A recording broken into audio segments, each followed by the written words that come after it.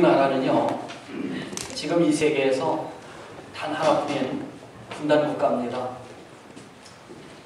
믿기지 않지만 어쩔 수 없는 사실입니다. 그래서 6.25 전쟁 때 헤어진 이산 가족들이 아직도 가족을 그리워하고 있고요. 그분들이 돌아가시 전에 어떻게 해서든지 서로 얼굴 한 번이라도 맞대면 하기를 간절히 소원하고 있습니다만은 그렇게 잘 이루어지지 않습니다. 작년에 이것을 우리나라에서 추진했지만 예, 북한에서 예, 그것을 반대하는 바람에 이루어지지 않고 이번 구정대는 어떻게 해서라도 만나기를 원하고 있습니다. 그런데 단 몇 시간이면 만날 수 있는 부모 형제, 형제들을 지척에 두고 만나지 못하는 이유가 도대체 무엇입니까? 그것은 도저히 메울 수 없는 엄청난 이념이라고 하는 것이 가로막혀 있기 때문에 그렇습니다. 돈이 없어서 못 가는 것도 아닙니다. 자동차가 없어 못 가는 것도 아니고요. 비행기가 없어 못 가는 것도 아닙니다. 단지 하나 건너기 힘든 그 이념이 가로막히, 가로막고 있기 때문에 그렇습니다. 오늘 우리가 읽은 본문을 보면 흩어졌던 야곱의 열두 아들들이 한자리에 모이는 장면입니다. 이들은 무려 20년 만에 한 자리에 모여 앉은 겁니다. 형제들은 요셉의 요구대로 막내 베냐민을 아버지를 설득을 해서 애굽으로 데려왔습니다. 그리고 요셉은 인질로 감옥에 잡혀있는 둘째 형 시므온을 풀어주었습니다. 야곱의 아들들은 모든 것이 그럼에도 불구하고 내심 불안했습니다. 그들이 지금 원하고 있는 것은 무엇입니까? 하루라도 빨리 양식을 구해서 아버지가 계시는 가나안 땅으로 돌아가는 일입니다. 그런데 애굽의 총리는 그들을 빨리 보내주지 않습니다. 자기 집으로 초대를 해서 그들을 대접한다고 합니다. 사실 야곱의 아들들은 이것까지도 불편했습니다. 아무리 맛있는 음식을 준다고 하더라도 그 자리가 가시방석 같은 자리였기 때문에 그렇습니다. 그런데 이렇게 형제들에게 호의를 베풀면서 요셉은 자신의 정체를 밝히지 않습니다. 이 정도가 되면 이제는 내가 누구라고 밝, 밝힐 법도 한데 요셉은 자신의 정체를 밝히지 않습니다. 특별히 20년 만에 만난 그 막내 베냐민 그렇게 보고 싶어 했던 베냐민 그 베냐민에게는 기뜸이라도 해주고 베냐민아 나형 요셉이야 이렇게 해줄 법도 한데 그렇게 하지 않았습니다. 자신의 신분을 끝까지 숨기고 있습니다. 그 이유가 도대체 무엇이겠습니까? 우리는 오늘 본문을 보면서 야곱의 열두 아들들이 20년 만에 한 자리에 모이기는 하였지만 진정으로 하나 되지 못하는 이유를 발견하게 됩니다. 사람들이 한 자리에 모였다고 해서 다 같은 마음일 수는 없습니다. 여러분 지금 우리가 이렇게 한 자리에 한 공간에 모여 앉아 있다고 우리가 다 같은 마음이겠습니까? 나름대로 생각이 다 다릅니다. 마찬가지로 야곱의 열두 아들들이 20년 만에 한 자리에 모여 앉기는 했지만 그들의 마음이 아직까지 하나 되지 못했고 정신이 하나로 일치하지 못하고 있습니다. 앞에서 제가 잠시 말씀드렸습니다만 우리나라가 분단이 되어 있는지 벌써 60년이 됐는데도 불구하고 하나 되지 못하는 이유가 도대체 무엇입니까? 남과 북의 생각이 다르기 때문 아닙니까? 사상이 다르기 때문에 그런 거죠. 우리가 진정으로 하나 되기 위해서는 몸만 함께 있다고 되는 일이 아닙니다. 한 자리에 앉아, 앉아 있다고 되는 일이 아닙니다. 함께 하기 위해서는 생각이 같아야 하고 마음이 하나 되어야 되는 겁니다. 우리는 오늘 본문에서 요셉이 애정과 진실 사이에서 심한 갈등을 겪고 있는 모습을 보게 됩니다. 요셉의 형들이 그렇게 보고 싶어 했던 동상, 동생 베냐민을 데리고 온 것을 보고 형제들을 자신의 집으로 초대를 했습니다. 그리고 미리 자신의 집에서 일하는 사람에게 주의를 줍니다. 자신의 형제들을 불안하게 하지 말아라. 두렵게 하지 말아라. 단단히 단속을 시켜 놓았습니다.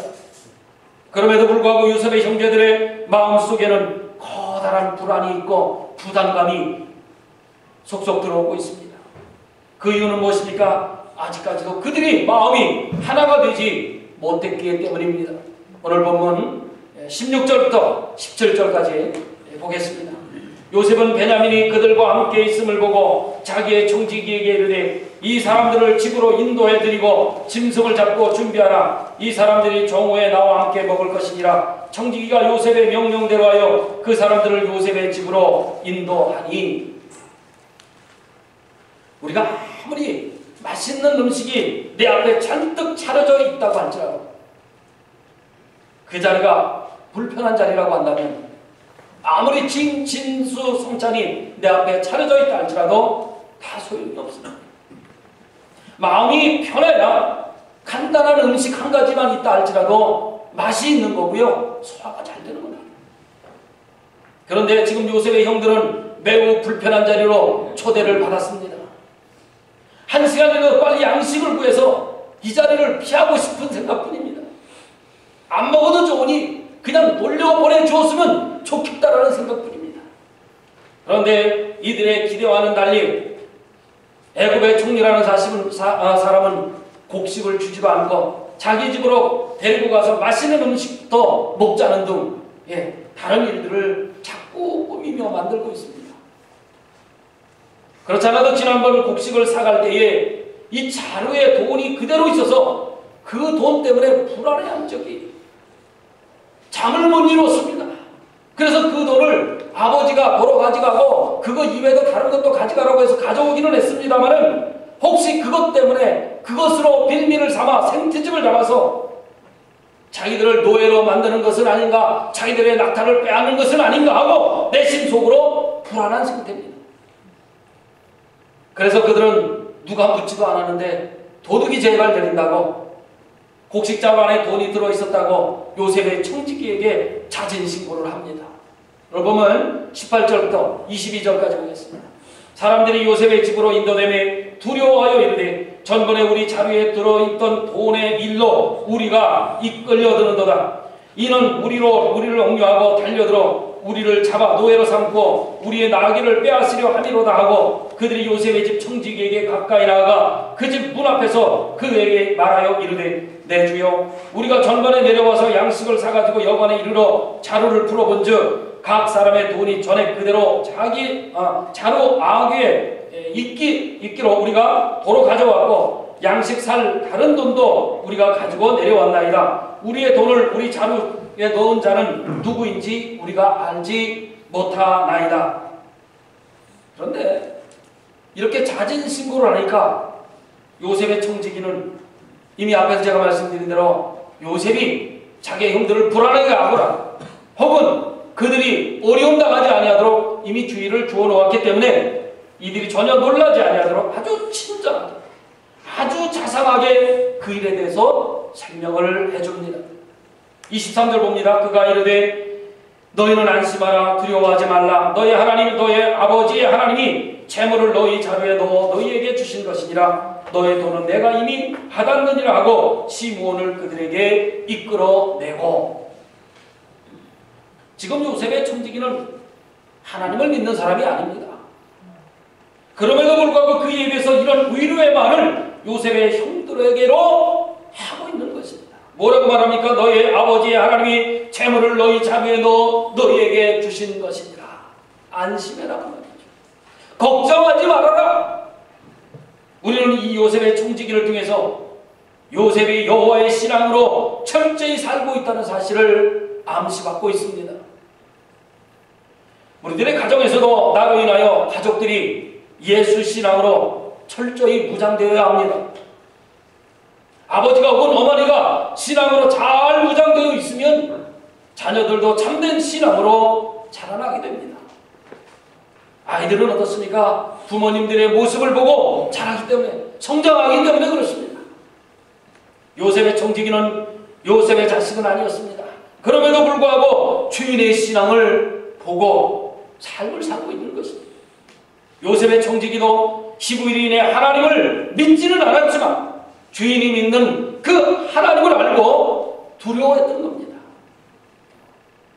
이 청지기는 부드러운 말들어 그 돈은 너의 아버지가 믿는 하나님이 너희들에게 돌아줄 것이니 안심하고 받아 써라. 걱정하지 마라. 그렇게 요셉의 형제들을 안심시킨 것입니다. 요셉은 불필요하게 형들이 불안해하거나 두려워하는 것을 원하지 않았습니다. 아직까지 자기 정체를 밝히지 않았지만 형들이 두려워하는 것을 원하지 않았습니다.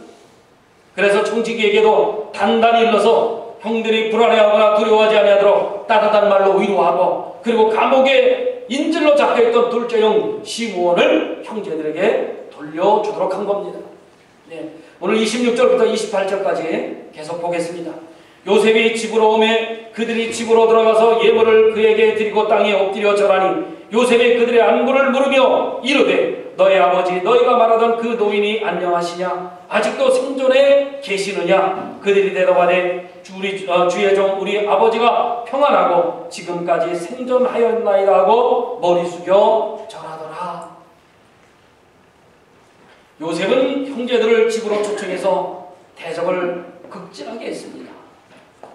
그리고는 아버지의 근황을 자세히 물어봅니다. 너의 아버지, 너희가 말하던 그 노인이 평안하시냐? 아직도 생존해 계시냐? 그렇지만 자신이 누구인지는 밝히지 않고 있습니다. 형들을 그렇게 따뜻하게 대하면서도 자기의 정체를 끝까지 밝히지 않는 겁니다. 요셉이 지금 자신의 정체를 끝까지 밝히지 않으면서 고민하고 있는 것이 무엇입니까? 그것은 과연 형들이 지금 어떤 형, 어, 상태에 머물러 있느냐 하는 것을 알고 싶어 하기 때문에 그렇습니다. 다시 말하자면 그들의 그들이 과거에 자신을 죽이려고까지 하다가 결국은 죽이지 않고 노예로 팔아버렸는데 그때 주동자가 도대체 누구며 그의 영향이 아직까지 형제들 사이에 미치고 있느냐 하는 것을 확인하고 싶었던 겁니다. 그래서 자기의 정체를 지금 숨기고 있는 겁니다. 물론 지금은 어느 누구라도 요셉을 건드릴 수 없습니다. 요셉은 형들로서는 도저히 어떻게 할 수 없는 엄청난 권력을 틀어주고 있는 사람입니다. 요셉이 말 한마디면 형들의 목이 다 날아갈 수 있습니다. 그러나 요셉은 애굽이라고 하는 이 땅이 자기가 영원히 살 곳이라고 생각하지 않았습니다.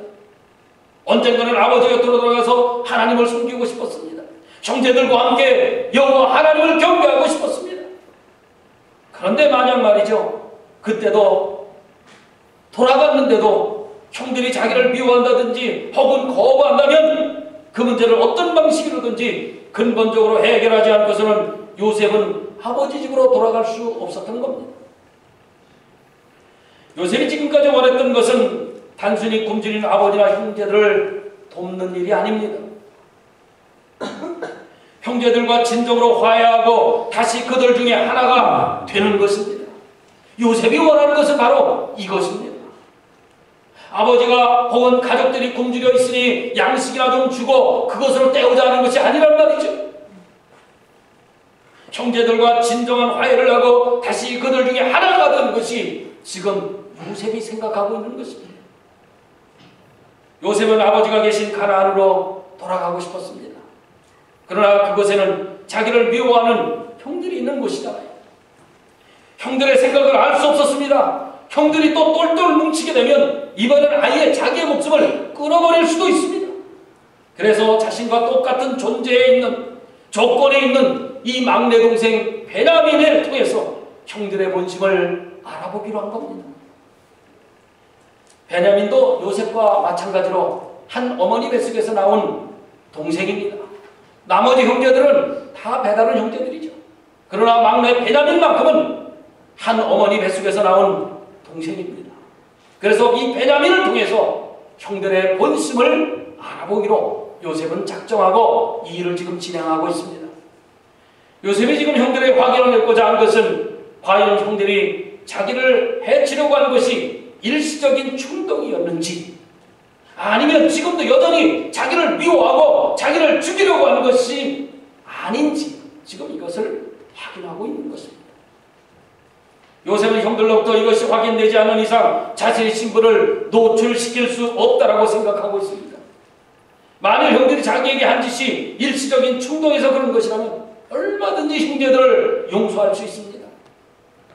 그러나 지금도 자기를 미워하고 있고 하나뿐인 자기 동생 베냐민마저도 미워해서 죽이려고 한다면 형제들과는 화해라고 하는 것이 불가능한 것입니다.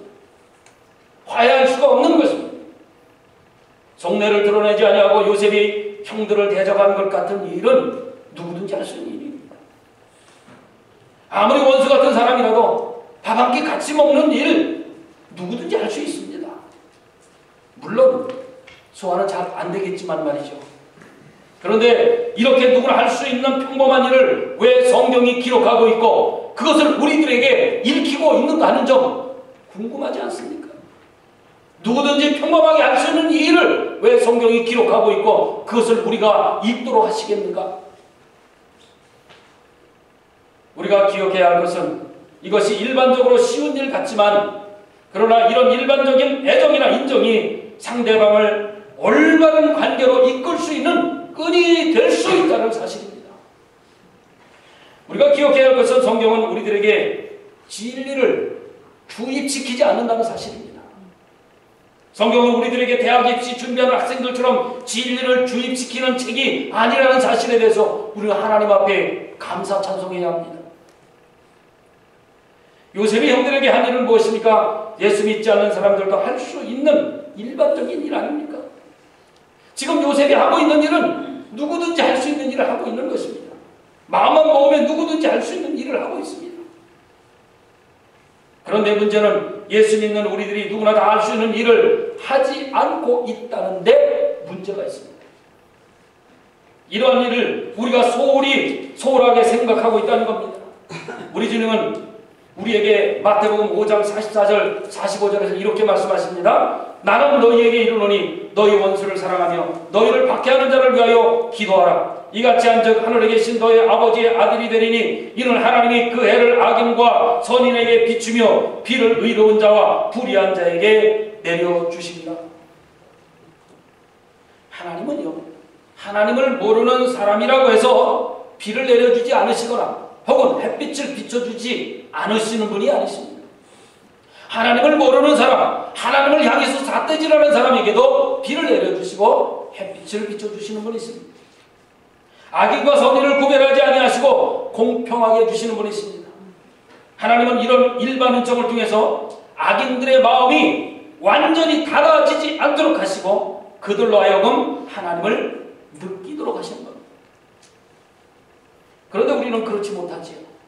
자기 마음에 좀 들지 않으면 자기에게 그거는 전화가 걸려와도 받지 않습니다.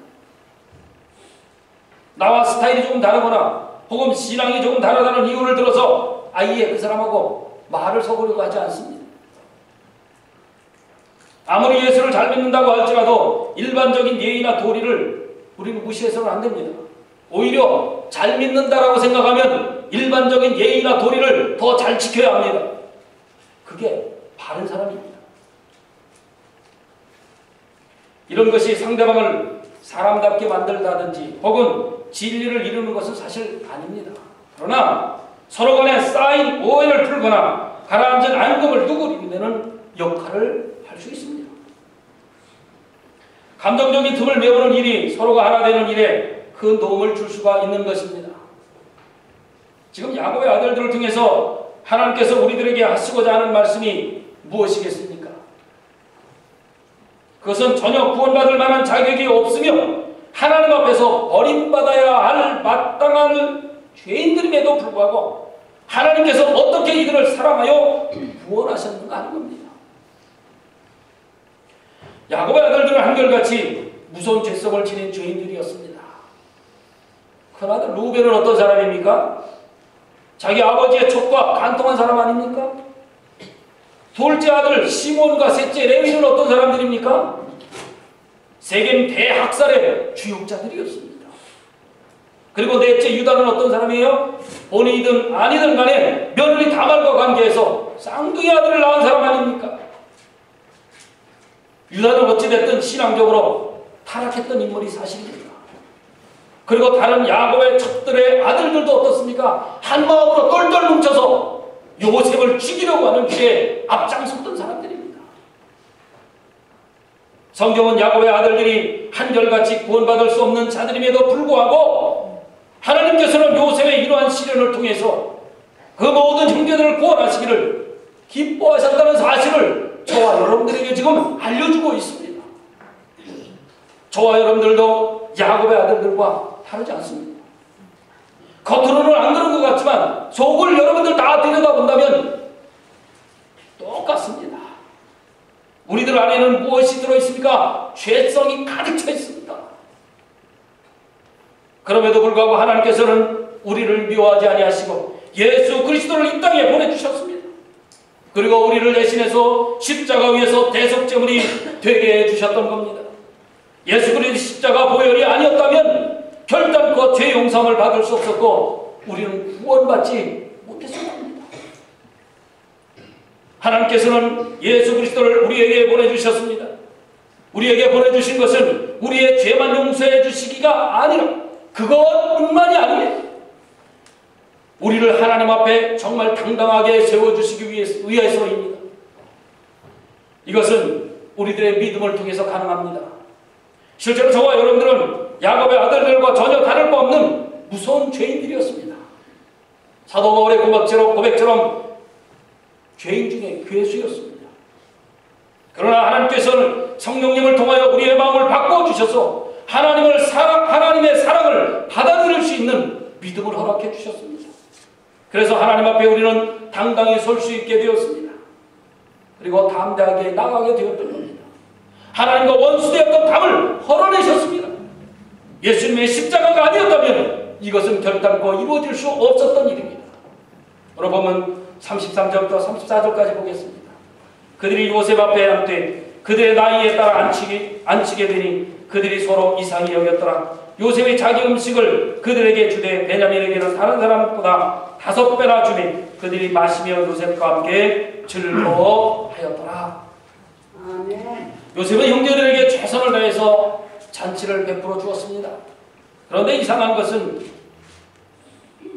요셉이 형제들을 나이 순서대로 앉히고 있습니다. 형제들은 놀랐습니다. 아니 저 사람이 우리의 가정에 그 모든 일을 소상히 알고 있는 것이 아니겠는가?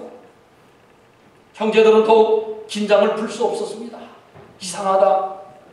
그러나 이것은 요셉이 자신의 정체를 암암리에 드러내려고 하는 의도적인 행위입니다.